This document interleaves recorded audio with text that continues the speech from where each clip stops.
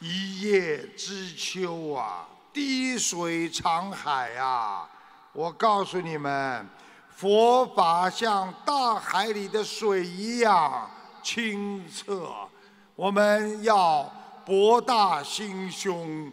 懂得三人之中必有我师，十步之内必有芳草。好好的学佛修心，才能攀登到佛菩萨的境界呀！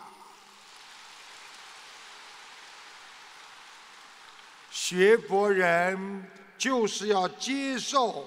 人需要大量的知识来弥补你心灵的欠缺。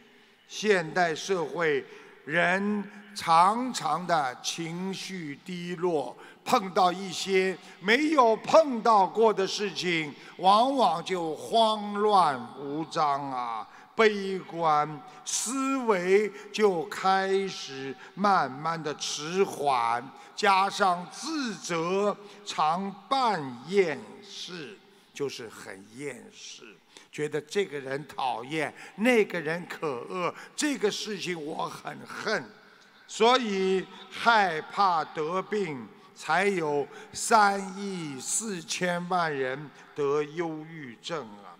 国际普查调查，每一天因车祸死亡的人数，因为思想不集中的讲话、打电话、烦恼、发脾气，在车上，每一天呐，记住就有十七万两千八百人死亡啊！所以你没有心理的控制意识，俗称的心事心理意识存在，你会被人间的五欲六尘搞得魂不附体呀！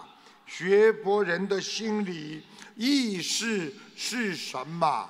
台长告诉你们，一个学佛人的心理意识，那就是。忍辱精进，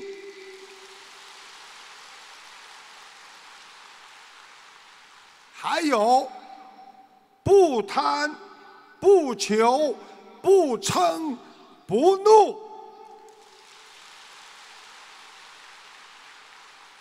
这样才能换来人间的四个字，那就叫永保。平安。